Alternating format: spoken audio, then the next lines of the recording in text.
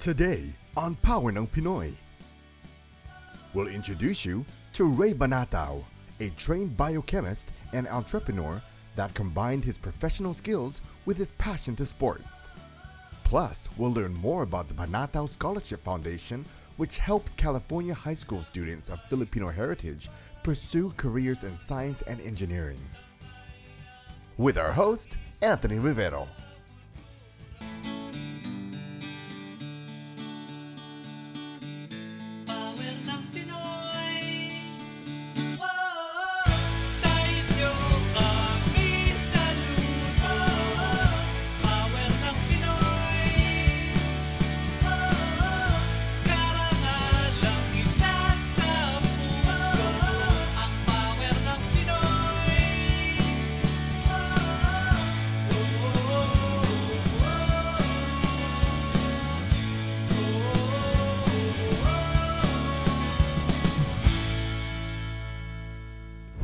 Wanting to see our ideas turn into a real product and see that product influence people in their everyday lives, that's really gratifying and that's what drives us today.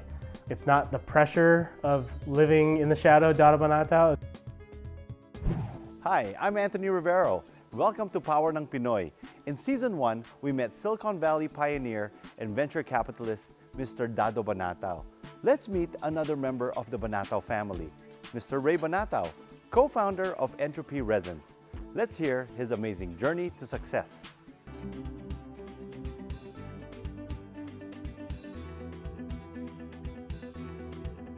I don't do these things because I think I need to be as successful as my father or more successful than my father. And I think if you talk to any of my siblings, they would say the same thing. They do these things for themselves. There's something there, maybe it's genetic that we all have, but wanting to see our ideas turn into a real product and see that product influence people in their everyday lives, that's really gratifying and that's what drives us today. It's not the pressure of living in the shadow Dado Banatao, it's more competing with ourselves actually and, and wanting to make sure that, that we're successful in these ideas that we have starting our own companies. It was no surprise that growing up, Rey was interested in science and math, but he was also just as interested in the arts. By the time I got to high school, I got into chemistry and, and physics and math and all those sort of things. So there was just a draw for me in that to, to that direction. I just was always curious about it. I painted a lot and drew a lot as a kid. And um, before, when I was in high school applying to colleges, uh, I, I did well in, in, in art. And uh, my art teacher was uh, just kind of thought that I would naturally go to art school, and she helped me put a portfolio together. And uh, when I kind of brought up the idea to my dad, of course, he being the engineer, wasn't crazy about it. And uh, he proposed, okay, well, if you want to go pursue that, you know, find a way to, to make that happen. And, uh, but it kind of meant without his support. my freshman year in college, I, I took all my science classes, but I also took art classes. And going to Berkeley, where it's a whole nother level of competition, I kind of realized maybe I wasn't fully cut out to be an artist. I ended up um, still pursuing all the, the biology and chemistry stuff, and I ended up just majoring in that. So you would have like 400 students in a biochemistry class, and so it's easy to get lost in the crowd. So it's a pretty competitive place. Probably the thing that keeps you going in that is just your passion for what you're, you're learning and what you're studying. Uh, I was always genuinely interested in that work, so for me, it wasn't that big of a problem, but yeah, it was, it was pretty competitive place to, to be a student. Uh, a lot of hard work paid off to get the degree, but I still knew that there was a long road ahead. And then after that, then there was still more training. So I, I would say that it felt good to get a degree, but I still knew that there were other things I wanted to do on top of it. So I was still motivated to go out and learn more. After graduating from the University of California in Berkeley and working in the biotech industry for a couple of years, Rey went to graduate school to get a PhD in bioinformatics, a field that combined biochemistry and computer science. Eventually, he started a company alongside his brother Desi. My brother and I, who always had a passion for science, also had a passion for sports. We grew up in California, skateboarding, snowboarding, skiing, uh, eventually surfing, and watching those sports evolve, my brother and I would always exchange these ideas, and my dad would be listening to these conversations. And one day he just said, "Well, why don't you guys do something about it?" And and we're like, "Well, what?" And he said, "Why don't you guys take the skills that you have and apply it to something you're really passionate about, which it sounds like are sporting goods."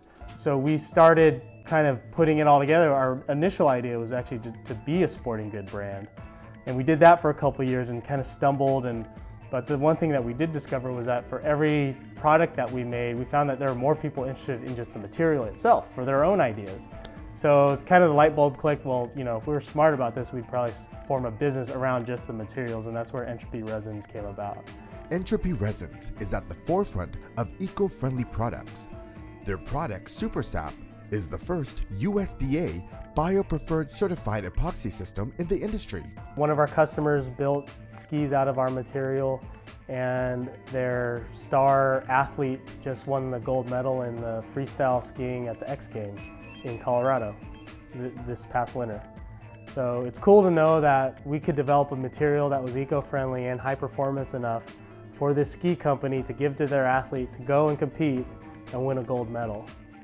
In addition to his passion for sports and science, Rey is able to use his background in art. I would say I still to this day have an appreciation for the arts um, and somewhat passion for the arts uh, in terms of graphic design. So uh, that's kind of culminated in, in, in my companies now. So now I get a say in what, what the company does in terms of marketing co- collateral and, and public facing. So in that regard, I, get, I still get to, to have an outlet for that. I think we're learning every day and we're figuring out how to turn this into a, a viable business. So uh, we're having fun doing it, and that's probably the most important thing. We're doing well today. We're growing every year. Uh, we have distribution worldwide now, and we're starting to be seen in everyday consumer products. Besides business, helping the community is also a family effort for the Banatao family. Education is the foundation of everything, and in our family, we truly believe science and engineering is a discipline that uh, can help enable economic development. Uh, we're looking for kids who are truly passionate about science and engineering. That's first and foremost. There's a lot of talented kids out there, but we need to make sure that they are truly interested in that because that ensures they, they have the best chance of success going into, into that field. Rey and his siblings are also involved with the Banatao Family Filipino American Education Fund that their parents, Dado and Maria, founded. We will meet some of the Banatao scholars and their families right after the break. they really took a load off. Just, just the, the thought of having to pay for so much. And that burden just got lifted. I couldn't imagine it being better. It's so unique and so life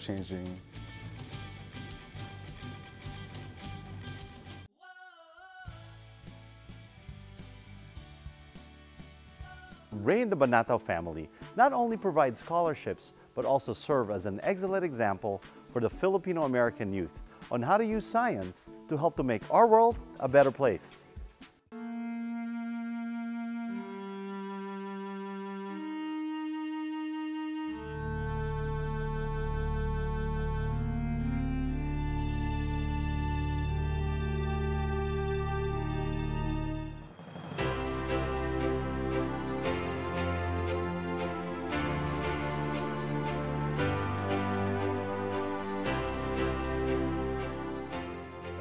Truly believes in education is the best solution to any problem. The Banatao Family Scholarship was something that we did as a family. It's a family uh, scholarship that uh, we decided about 12 years ago. We wanted to support uh, successful Filipino American kids in high school who are very interested in science and engineering. Part of the reason actually that we started this is that we are way underrepresented here in Silicon Valley. So when I look around as to where we can potentially give a little bit back to the community, it was easy for us to address that uh, underrepresentation.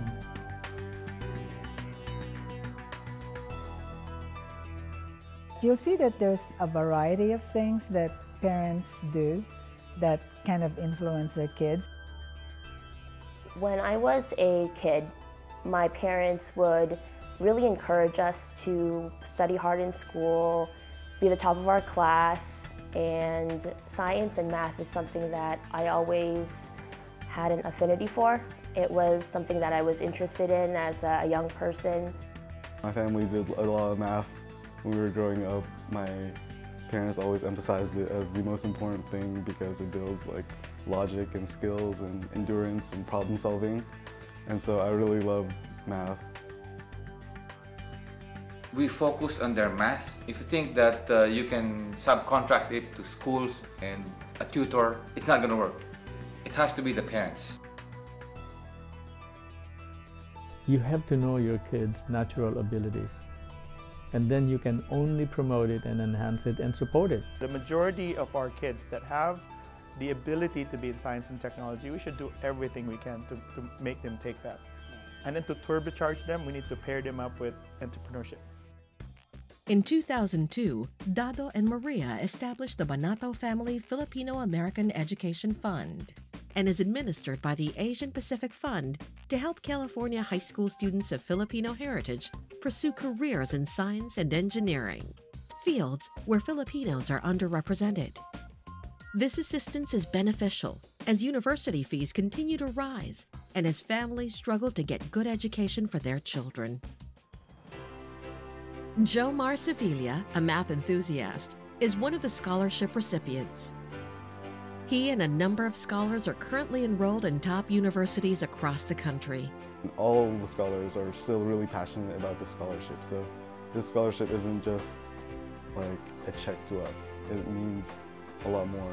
Jomar has an aptitude towards math, and when he reached high school, he eventually developed an interest in engineering. I thought I was just really fit for engineering, and specifically electrical engineering because I always was so curious about how the world worked. The scholarship is offered to students of Filipino heritage pursuing majors in engineering, mathematics, computer science, environmental, or physical science. So far, we've had uh, at least 20 to 23 um, scholars every year. The scholarship program grants $5,000 to each scholar for four years. While in the program, scholars maintain a minimum grade point average and pursue a degree in engineering and sciences. It's hard enough and to force their kid to take engineering because if they're not good at it, it it's, it's difficult. Uh, I was lucky enough that you know I found a scholarship. They really took a load off. Just, just the, the thought of having to pay for so much, and that burden just got lifted. I really enjoy mentorship. Just knowing that I can have a direct impact on these truly talented um, scholars, that's really gratifying. The Banatao Scholarship Program is now on its 12th year of unparalleled commitment to the Filipino community in America. It's very rewarding experience for us for the last 12 years. Of course, it's been a very good partnership with Asian Pacific Fund. We don't just give the scholarship, we really try to be involved as much as we can with them. This is a different kind of scholarship wherein the retreats uh, and um, dinner with Mr. Banatao is giving them uh, motivation and a moral support to, uh, to do well in their uh, engineering fields. I couldn't imagine it being better. It's so unique and so life-changing. Through the retreat program, it's not just a scholarship that gives money to people, really connects us and connects us with our engineering passion and really tries to channel us to like a higher purpose. I can't see myself um, just not being Filipino, not being Filipino American, and not working to improve conditions in the Philippines and conditions for Filipino Americans here in the U.S. It's very encouraging to have uh, Filipinos wanting to bring up younger generations so that we can all move forward together. The Banatao Scholarship Program is more than just about free education. It shares in Dado's vision of creating waves for Filipinos in the field of science and technology. In the end, it's, it enhances life, much more significant than other things.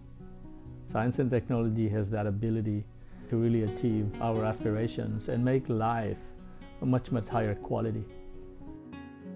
The Banatao Family Filipino American Education Fund has a great deal of confidence in Filipino talent. It fosters leadership and perseverance by investing in intelligent minds who have the potential of impacting Silicon Valley and the world.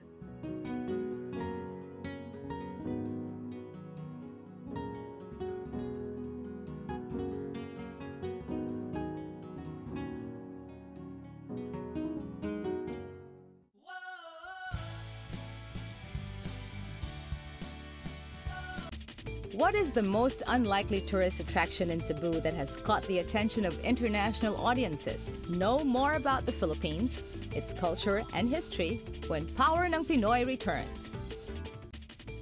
The Cebu Provincial Detention and Rehabilitation Center, a maximum security prison in Cebu, is now a famous tourist site after the amazing video of its 1,500 inmates dancing to the tune of Michael Jackson's Thriller spread virally across the internet in 2007. The video of the dancing inmates posted on YouTube awed the world, generating more than 300,000 daily hits.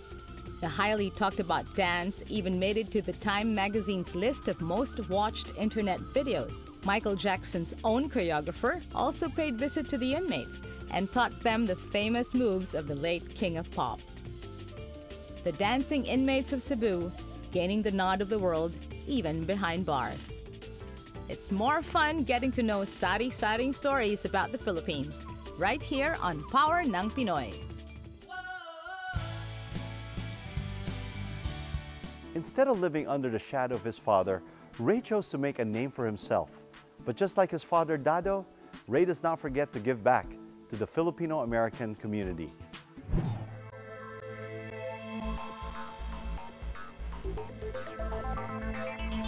The way science works now is it's almost like think of any problem that you want to solve in the world and go look at all the basic sciences as your toolkit of how I'm going to go solve those problems. So it's a pretty, pretty cool, dynamic, interesting place to be right now for a scientist. I don't see any boundaries to being a Filipino, starting a business, or being a scientist or engineer. There's a lot of room for scientists and engineers to actually have an impact on the world, and it doesn't always have to be um, creating the latest, you know, computer chip. It could be something as simple as finding a way to get access to clean water, food, and electricity. A single ski isn't going to necessarily save the planet. Um, it's sending a message that that people can choose a product that is greener or better for the planet and still be able to you know, achieve all their goals. What's the Banatao's family secret? Foster their child's ability to always ask questions about anything, you know, even if it's not scientific based, uh, just that ability to, to ask the question. Um, and probably the second thing would be to support them in the idea that taking risks are okay. That it's okay to fail, it's okay to learn from mistakes. At the end of the day, being an entrepreneur is about having a vision and executing on that vision because you want to see it turn into a reality. Yan ang power ng Pinoy. Rey and the rest of the Banatao family aim to produce Filipino-American scientists and engineers. They're changing the world not only through their products, but more importantly, through their scholars. Join us again next week as we bring more stories from talented kababayans all over the globe. Meanwhile, share your stories with us on Facebook. Tell us what inspires you and motivates you to reach for your own dreams because nothing is impossible as long as you plan ahead, pray hard, and work even harder. And if you do well, help others do well too. Dahil yan ang power ng Pinoy.